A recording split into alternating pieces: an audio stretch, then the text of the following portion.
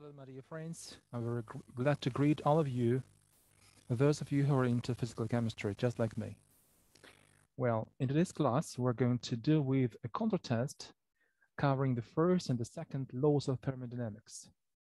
it was offered to Moscow State University Chemistry Department students, and there many as four assignments, three of which are theoretical, while the other one is computational where you're supposed to calculate the numerical value of some thermodynamic function related to a particular chemical reaction.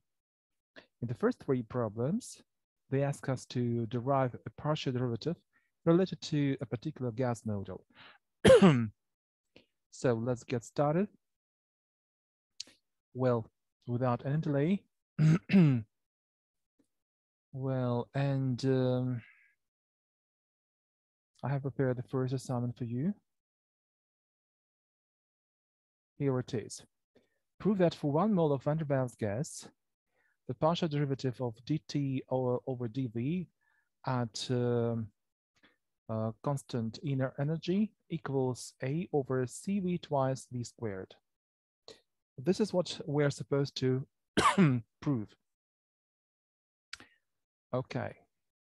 First of all, let me check whether it's working. Yeah, it's okay. Now, as you see in the first assignment, we're going to do with the van der Waals model. We have already dealt with a number of different problems concerning the van der Waals gas state equation. In one of them previously, in one of the previous lessons, we derived the van der Waals inner energy equation, which is the following. You should remember this formula. U equals uh, uh, heat capacity at isochoric uh, heat capacity, CV, times T minus A over V, okay? Well, um, if we differentiate uh, both parts of the relation,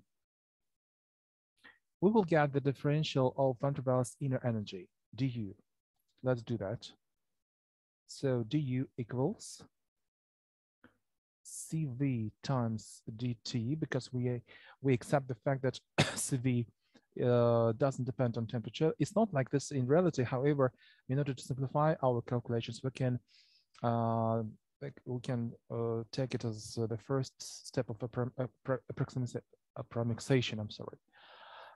Okay, then so CV times dt plus plus A over V squared dV. Um, so I got this, exp uh, this expression uh, after differentiating the uh, right part of the relation. Okay. So if we look up at the partial derivative we're supposed to derive, this one. So we will see that firstly, we should somehow get the ordinary derivative dt over dv. We should somehow, it's the first uh, or intermediate step is to get this uh, derivative dv, I'm sorry, dt over dv. How can we do that? Easily. We should divide both parts of this relation into dv. What we'll get? We'll get the following du over dv equals c times dt over dv plus a over v squared. But, I'm sorry, according to the statement of the problem, uh, we know that inner energy doesn't change. That means that U is constant, and that automatically means that du equals zero. And for that reason, du over dv is equal to zero too. Moreover, if u is constant, that makes us believe that ordinary derivatives turns automatically into uh, partial derivatives. So finally, we'll get the following. O equals uh, CV times the partial derivative dv dt over dv at constant inner energy Okay. Um, what else? Plus A over v squared. And of course, from this expression, we can easily extract this um, uh, partial derivative because this is actually what we're supposed to find. So dt over dv at constant uh, inner energy uh, equals minus a cv times v squared. That's it. As uh, the, there is a good expression, I want you to, uh, to learn it. Uh, its separation is q dot e dot d dot. this separation stands for uh, good uh, quod, I'm sorry, quod erat demonstrandum. Quod uh, erat demonstrandum. Demonstrandum.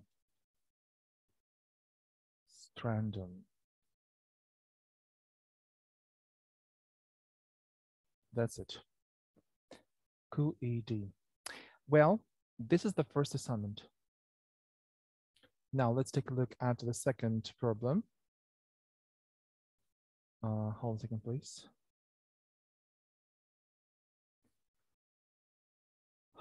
The second problem, uh, let me uh, prepare everything.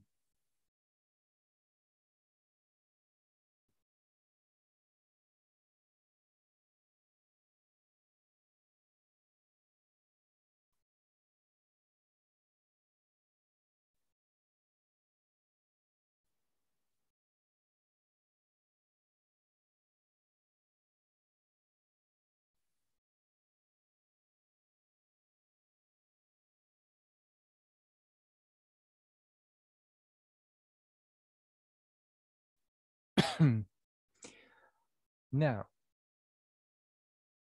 uh, in this case, we're supposed to prove that for one mole of Berthelot gas, uh, whose state equation is uh, P plus A over uh, T times V squared times V minus B equals R times T.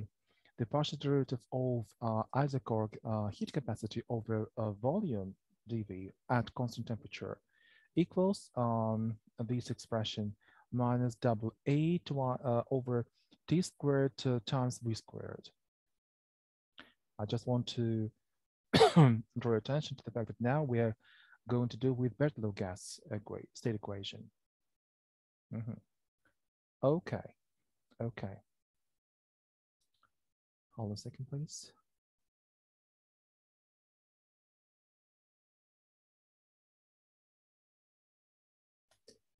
So um, the partial derivative we're supposed to derive gives us a clue what exactly we should start from as it contains uh, heat capacity at constant volume in the numerator and the volume in the denominator, it is clear that we should uh, start from entropy. First, we ought to recollect the formula based on its definition. What is it? It's uh, ds equals delta q over t. But at constant uh, uh, at constant uh, volume, q, uh, q equals c, uh, uh, heat capacity isochoric heat capacity CV times dt.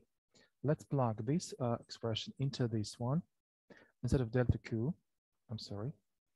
huh? And what we'll get? ds equals cv times dt over t, right? So far, so good. Okay. From the just derived expression, we can extract uh, isochoric heat capacity, CV. Let's do that. CV equals um, T times uh, ds over dt. It's uh, ordinary um, derivative of entropy um, in respect uh, to temperature. Okay. But we need partial derivative, uh, dCV over dV, partial one. For that reason, we can divide both sides of the relation into dv. You see, we don't have any dv here, but it's not a problem. Again, what have we got so far? ds, uh, I'm sorry, not ds, cv equals uh, t times ds over dt, right? We don't have any dv. It's not a problem. We can divide both sides of this expression into dv and we will get it. So what is it? Um, yeah, if we take the uh, mm, not only, I mean to say that if we not only divide into dv, but if we take uh, the first derivative, well, what we'll get? dcv over dv equals t times um, a ds over dt and over dv times dt uh, and dv. Okay, so we've got it. And what can we do now? But we need uh, the partial derivative of uh, dcv over dv. Okay, we've got this expression. At this point, we ought to remember that we can change the uh, differentiation sequence so that uh, the, di the differentiate ds not in respect of temperature, but volume. Yeah, we can do that. Thus, we have the following. We've got the following.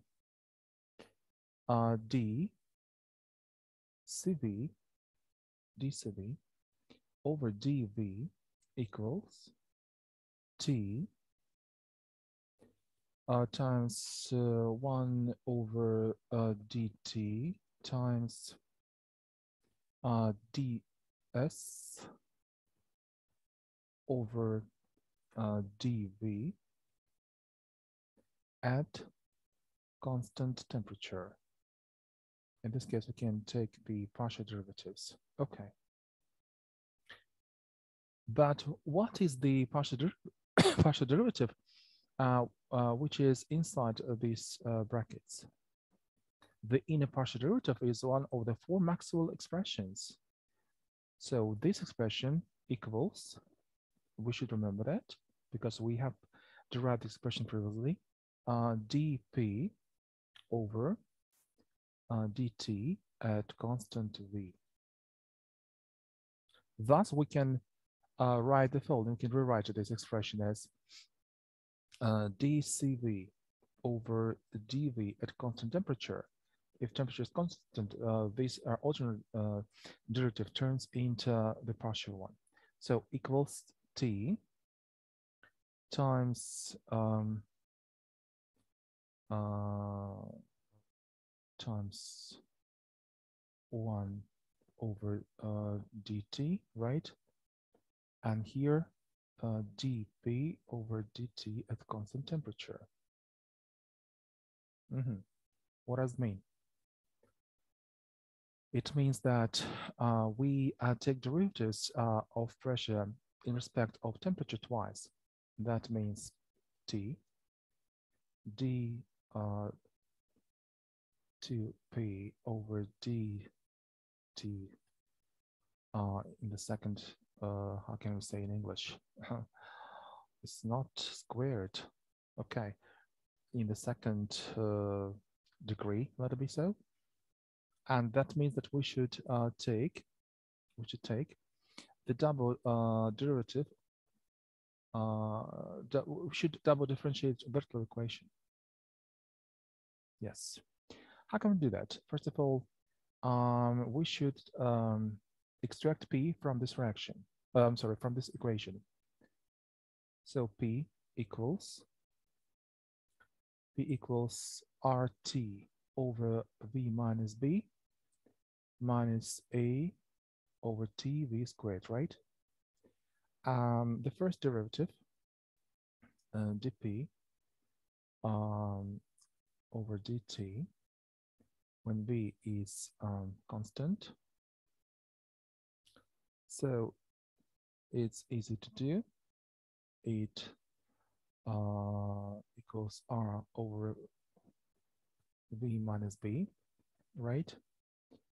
Okay, plus a v squared and uh, t squared, right? Okay, yeah. But it's only the first uh, derivative. And we're supposed to find the second one. It's not a problem.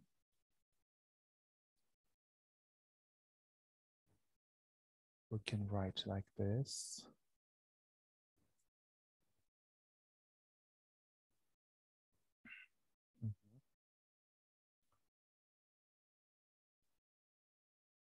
These are easy uh, mathematical notations.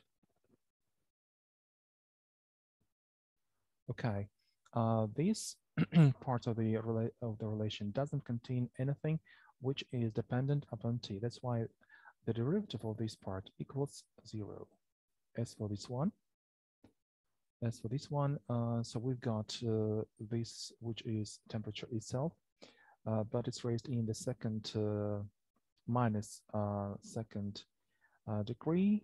Um, for that reason, the derivative equals um, minus uh, double A over V squared and uh, cubic T.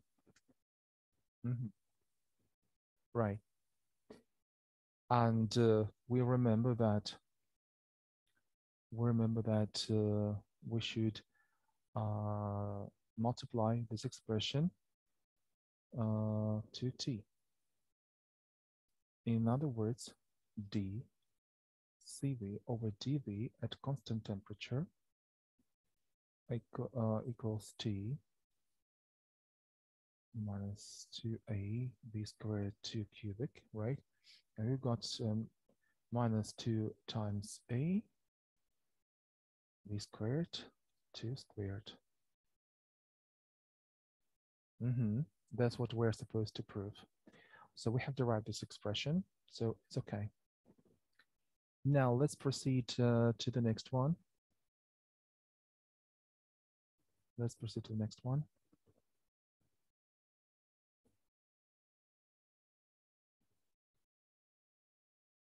Hold on a sec, please. I need some time to uh, get everything prepared.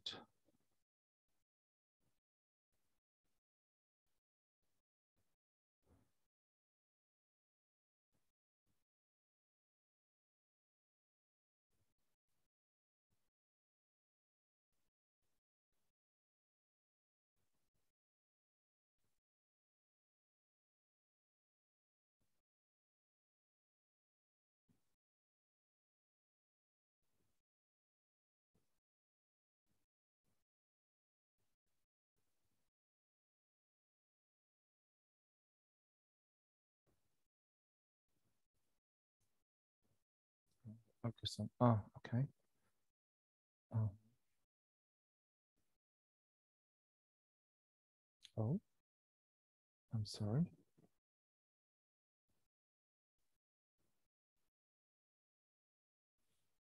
Um,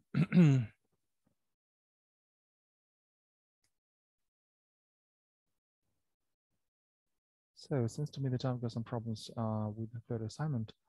Let me uh, do it uh, from scratch, please, okay? From scratch. Um,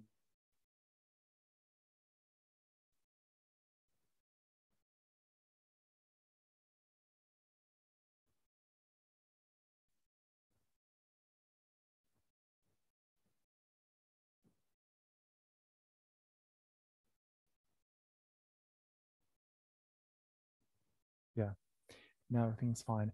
So uh, this is the third assignment we're supposed to do.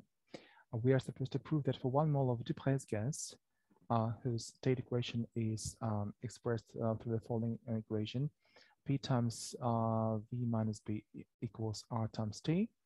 The Joule-Thomson coefficient is equal to this expression minus uh, B over the heat the heat capacity at constant pressure well, um, it's not uh, that easy to do, but let's uh, try to do it as well. Uh, hold a second, please. Mhm.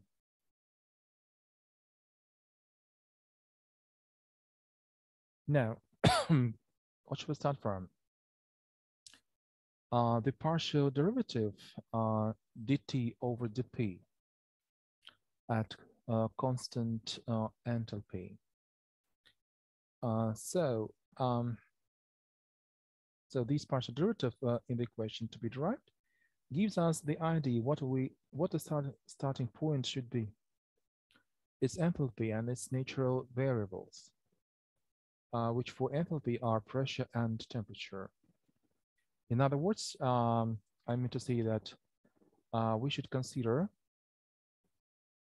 as H enthalpy as the function of uh, pressure and temperature. Yeah. Okay. Well, but we need to get the partial derivative of temperature over pressure. Yeah, we somehow should um, get this um, partial derivative dt over dp at constant h. Take a look at this partial derivative tph. We've got it here, uh, uh, h, p, and t. And that also gives us the idea what we should do next.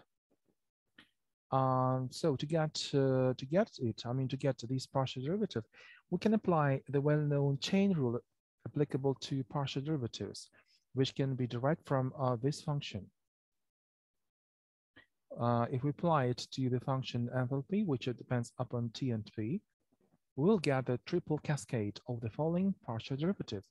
So let's uh, do it right now. I guess that you remember this formula, this uh, widely used uh, uh, solution way, dH over, come on, over uh, dP at constant t times dP over uh, dt at constant h times uh, dt over dh at constant p equals minus 1. But we're supposed to get this uh, this partial derivative. We can get it here. Here it is, but taken in the minus one degree. Um, that's why uh, dt over dp at constant h equals minus dh over dp at constant t times um, times dt at constant dh I'm sorry dt over dh at constant p. Okay. But we also can rewrite it. Paying uh, attention to the second uh, term of this equation. Uh, let it be the first one stay the same, dH over dP at constant t. But this one is 1 over dH over dt at constant p, right? I guess you, you understand what I have done. Uh, so this is the play with uh, numerators and denominators. And we also remember that the denominator denominator equals Cp. Um, it's a heat capacity at constant pressure. In other words, we can write rewrite this that this uh, partial derivative, which we actually need, here it is, is nothing but minus the partial derivative dH over dP at constant pressure, I'm sorry, constant temperature, uh, divided into uh, heat capacity at constant pressure. Mm -hmm. Okay. This is the, uh, this is the high time that we recollected um, the enthalpy differential, dH what is me uh what is it what is it it's uh t times ds plus v times dp. I guess you should remember this equation because we have derived it numerous, uh, numerous times before. But we need to get the partial derivative dh over dp. So it's easy to do uh, because we've got dh, both dh and dp. And that means that technically we should divide both sides of this relation into dp.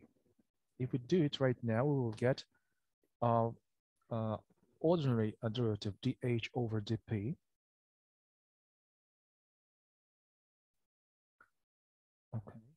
Plus volume v. But, but as temperature is constant,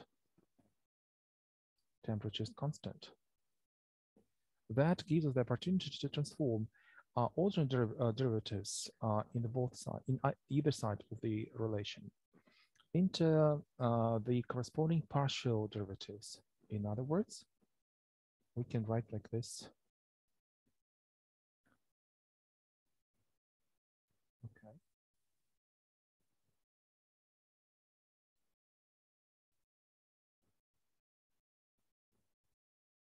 Mm -hmm.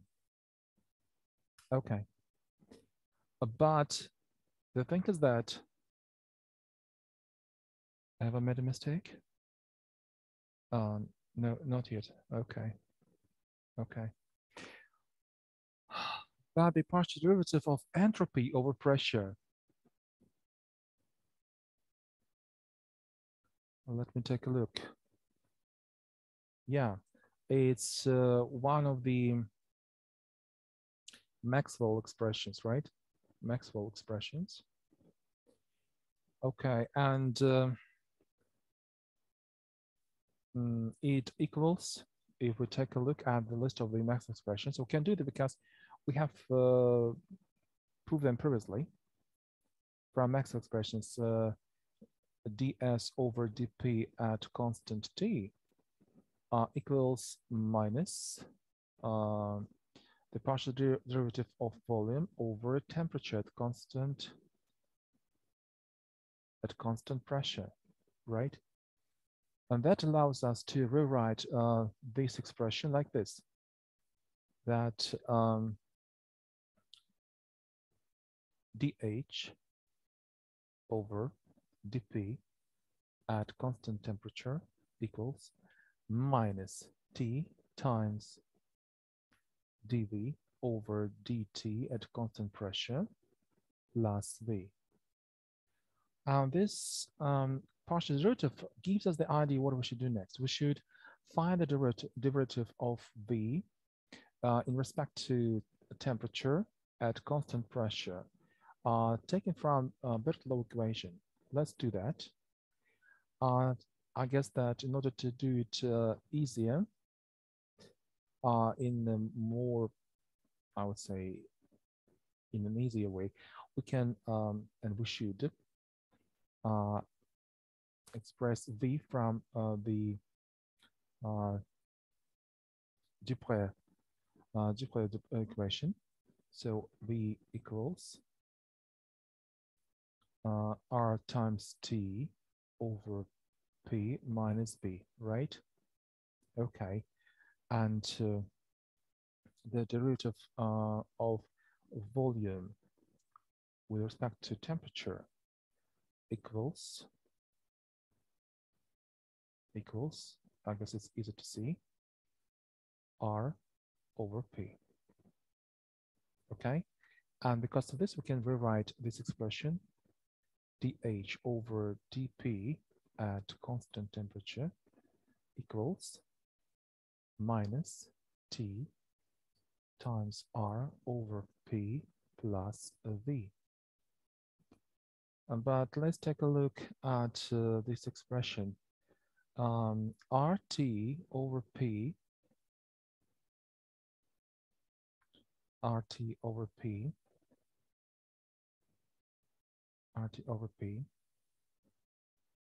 uh, equals uh, V minus B right? That means uh, okay, minus and RT over P from this expression, expression equals V plus B, right? Uh, V plus uh, B. And we've got uh, plus V. That means the following. It equals minus b. Okay. And for that reason, we can write that uh, the Joule Thomson coefficient uh, mu,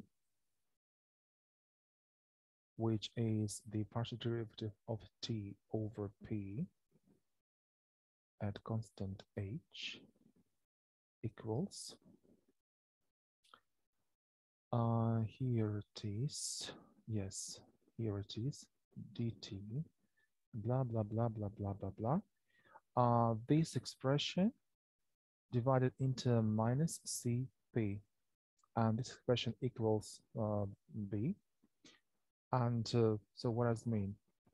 It means uh, minus b over cp. This is what we're supposed to prove.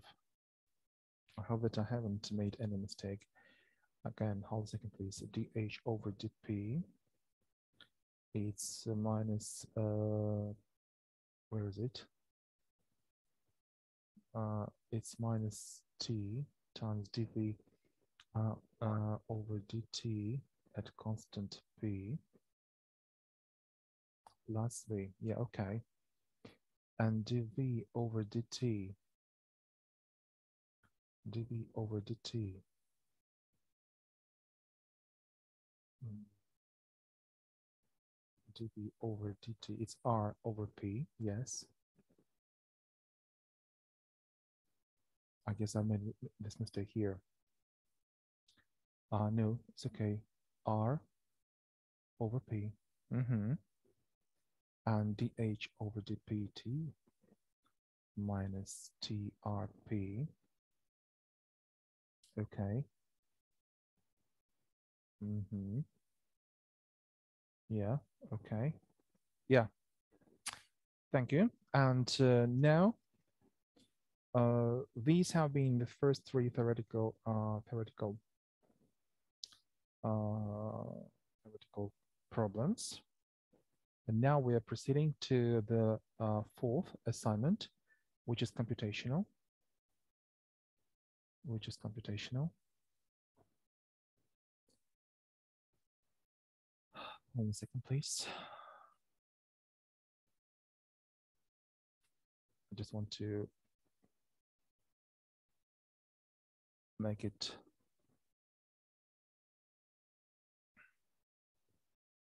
visible, I guess.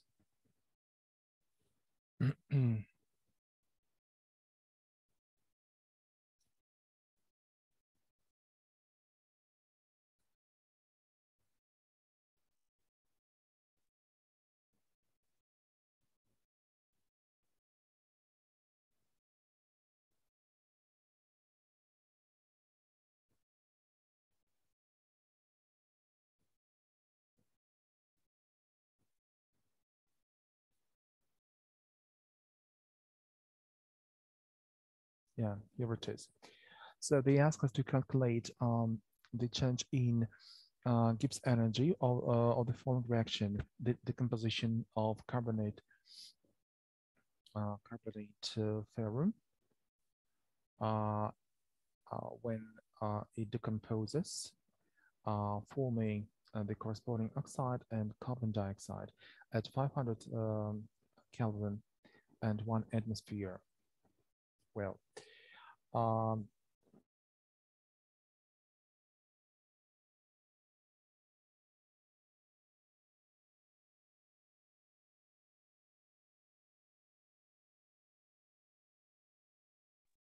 again, we are supposed to uh, get all necessary, all necessary uh, relevant uh, information, numerical values, uh, from different reference books. Okay, I have already done it. I have already done it.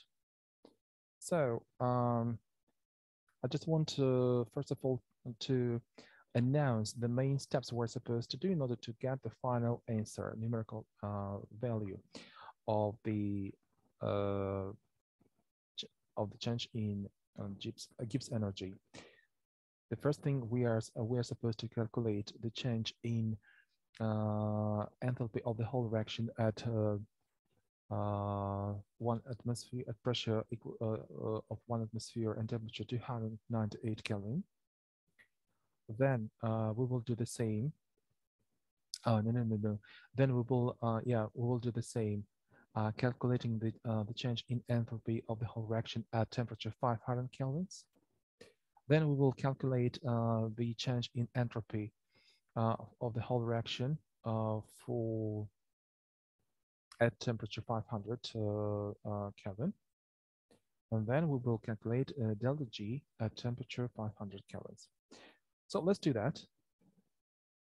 Um, it's, I guess it's comprehensible that we're supposed to start from Hess law, right? Oh, I'm sorry. I'm sorry. So it's, of course, Hess law. The first thing we're supposed to use right now. I guess uh, if I don't speak much uh, right now at this part, uh, you will understand everything anyway. Uh, I'm using all the things we have done uh, before many times. And I guess you understand that in order to calculate the change of, uh, in enthalpy of reaction, so we add the enthalpy, the enthalpies of formation of the products of the reaction F stands for word formation. And then we subtract uh, the same related to the regions. Uh, okay. Also, we should take into consideration um, the coefficients, right? Oh my God.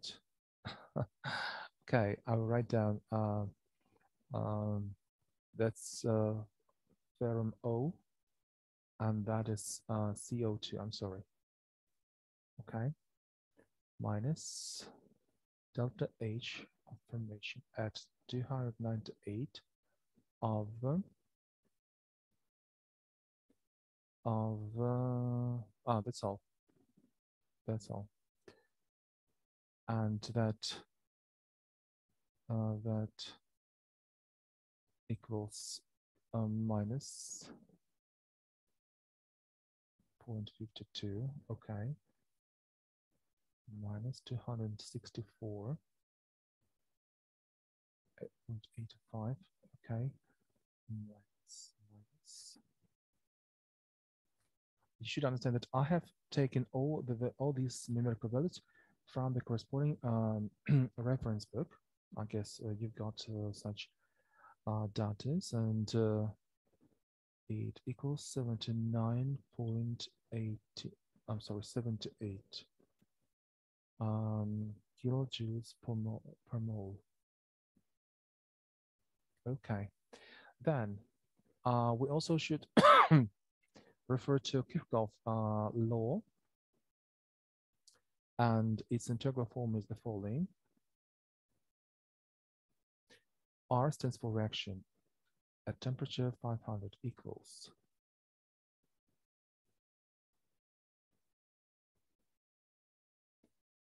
Okay, integral.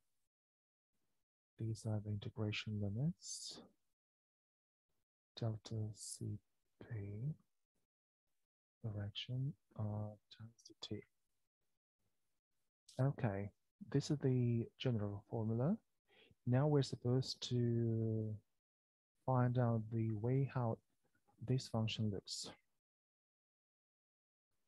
We use the same principle of adding and subtraction.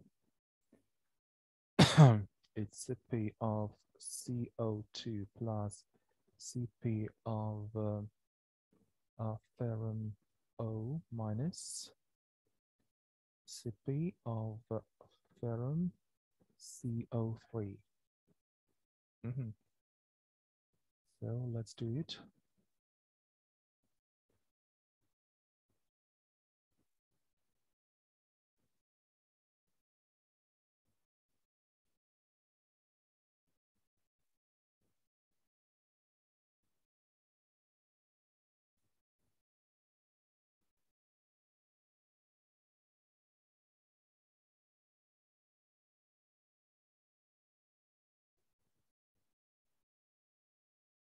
Mm-hmm. Times t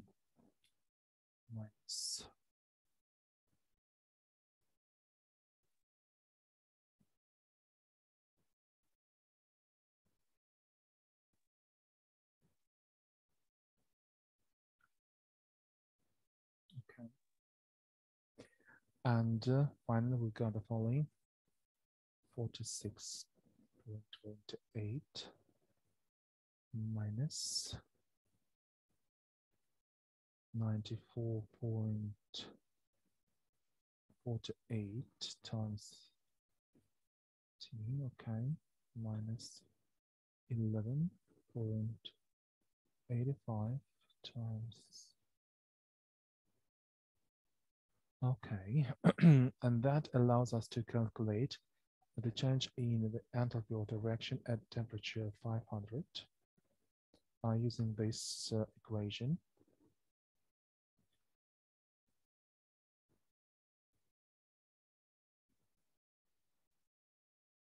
Oh, I'm sorry, plus three, of course, plus three. Uh,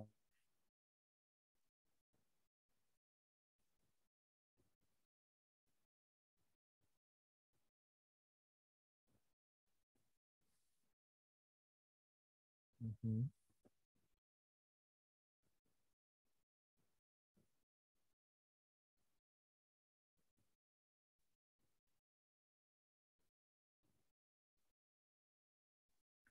We have done uh, such integration uh, operations numerous times before. That's why I'm not speaking much because I hope that you understand what I'm writing and why I'm writing these things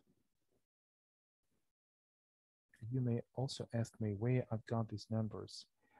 Um, let me write it uh, okay, and I will explain to you a bit more. Okay, and that gives us the answer.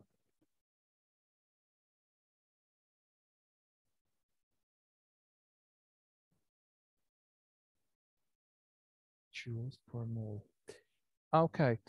Um, the thing is that uh, in uh, corresponding uh, heat capacity dependence on temperature lists, you can find uh, corresponding equations related to a particular substance. How the uh, substance uh, heat capacity depends on temperature. Usually, such equations are given in the in the following way. For example, Cp equals A plus, plus uh, B times T plus C times T, C times T uh, minus 2. That's it. And uh, these equations are given for each of the participants of the reaction. Uh, the oxide, uh, the carbon dioxide, and the reagent which, uh, which it decomposes. Okay, you can uh, get these equations from relevant uh, reference books. Okay, so we have just calculated uh, the change in enthalpy of the reaction at temperature 500 Kelvin, okay? Now, uh, in order to calculate the change in entropy of the reaction, first of all, we should uh, calculate uh, the change in entropy at temperature 298. Uh, okay. This symbol means uh, one uh, atmosphere. Okay, it's CO2 plus entropy of uh, uh, ferrum O minus entropy of uh, ferrum CO3. Okay. Um, it's 213.67 plus 60.75 minus 95.40. Mm-hmm. Okay, and I need to calculate, I need a calculator to get the right answer. Hold second, please. So, uh, 67 minus 95.40 plus 60.75. So I've got the answer. It's 179.02 joules per mole Kelvin. Okay. And now we are ready to calculate uh, the change uh, in entropy of the reaction. It's also reaction um, at 500 Kelvin. Using this equation.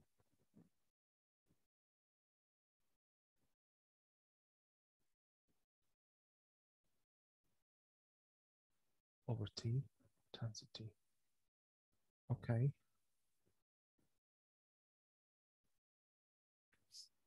Again, uh, we have done it a million times. Okay, anyway, um, I will try to write a bit uh, more in detail. Okay. We got this equation, delta uh, Cp, uh, here it is.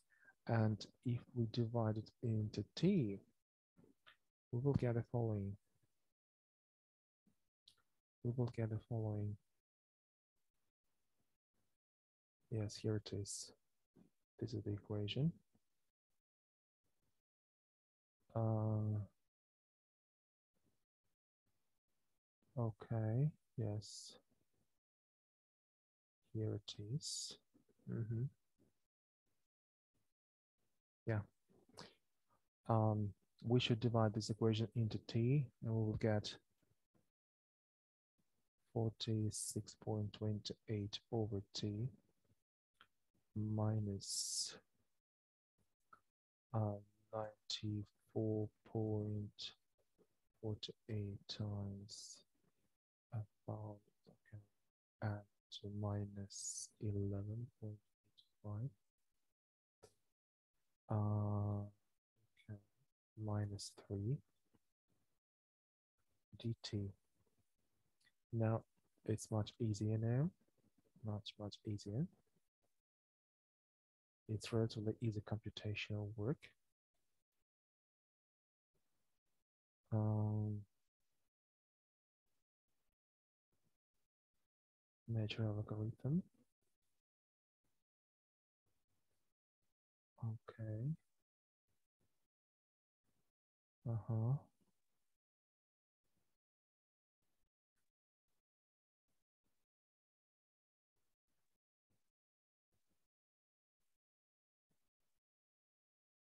Mm-hmm.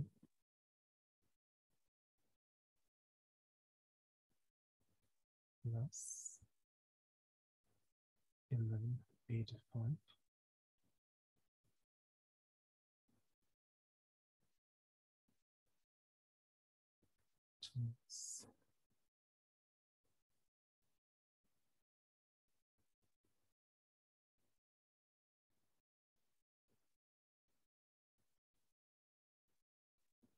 So I have already calculated the answer. It is 179.59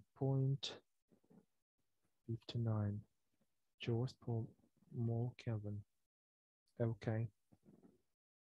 Okay, now we are to calculate uh, delta G, delta G of the reaction at 500 Kelvin.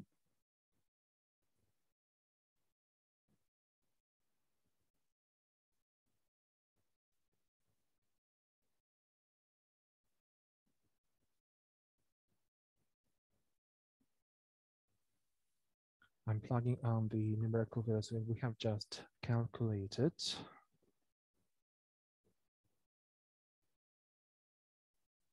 This one, the numerical value uh, of the change in field direction. Uh, here it is. Okay, minus 500 times of this.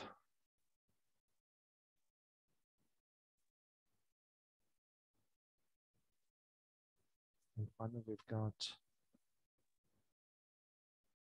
we've got minus 9,888 um, joules per mole. Um, so it is a negative um, value. And that means that at one atmosphere and 500 Kelvin, the reaction of uh, the decomposition reaction uh, goes in the fourth direction uh, with formation of carbon dioxide and the uh, ferrum oxide. That's it. Thank you. Thank you very much for your attention. I do hope that these assignments uh, have turned out to be interesting for you and uh, you have managed to understand uh, the way of the solution. If you have noticed anything what I have done wrong, you believe so, let me know. Okay, I will try to correct maybe if uh, if I'm wrong. Uh, thank you very much. Thank you for your attention.